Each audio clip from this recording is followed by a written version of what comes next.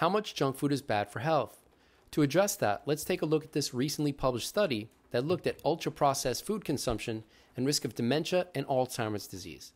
So, first, what is ultra processed food? By definition, UPF or ultra processed food is an industrial formulation that's made with no or minimal whole foods and processed with additives such as flavorings or preservatives. And visually, what that looks like is what you'd expect soda, chips, cookies, chicken nuggets, breakfast cereals. All right, so on to the associations. What's the association for UPF with risk of dementia? And that's what we can see here. So on the y-axis, we've got the hazard ratio for all dementia. So this is Alzheimer's dementia, vascular dementias, and all other dementias.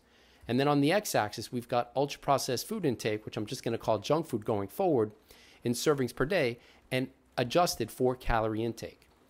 So to address significance, we put a line at the hazard ratio of 1. Remember, where the dashed black lines are completely above or completely below 1, we have a significant association. And that's true for more than one serving of junk food per day. Now, that's significant because we can see that at all intakes above one serving per day, the dashed black lines are completely above that hazard ratio of 1. Now, interestingly, at high, relatively high intakes for junk food, risk doesn't increase by little, it increases by a lot. And for this study, we can see that dementia risk for someone eating close to seven servings of junk food per day had a five times higher risk for dementia, the incidence of dementia, compared with someone eating no junk food. All right, so how is serving size defined? That's important to know so that we can limit our junk food intake to minimize risk for dementia, at least uh, starting off with this study. And that's what we can see here. On the left, we've got food groups. On the right, we've got calories or energy per serving. So note that one serving of crackers, 20 calories, but one serving of English muffin, an English muffin, 270 calories. One serving of a commercially baked cookie was considered 24 calories, which is like one bite, but one serving of a hamburger, 427 calories. So a little bit of screwy data in terms of all the foods on the list weren't homogeneous in terms of their uh, calories per serving. Nonetheless, junk food or UPF intake is also associated with cardiovascular events and all cause mortality risk. So, first, ultra processed food is associated with an increased risk for cardiovascular events, and that's what we can see here. Cardiovascular events included atherosclerosis, stroke, heart failure, and CV, or cardiovascular mortality. And this is a meta analysis of eight studies that included more than 278,000 people. The link for this paper and the previous paper will be in the video's description. So, on the y axis, we've got relative risk for having a cardiovascular event plotted against junk food intake in servings per day and the, and the serving size for junk food was standardized better, as one serving was equal to 50 grams of junk food per day.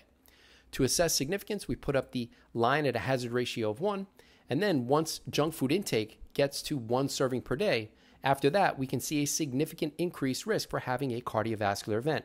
And note that the dashed black lines are completely above 1, so we have a significant association. Ultra processed food is also associated with an increased risk for all cause mortality and that's what we can see here. In this case, this was a meta analysis of nine studies that included more than 296,000 people. So, to assess significance, once again, we put up that line at a hazard ratio of one. And here there's a little bit more leeway. It's about one and three quarter servings uh, per, of junk food per day. We see a significant increase for all cause mortality risk. And we can see that because the dashed black lines are completely above that hazard ratio of one, as indicated by the red triangle.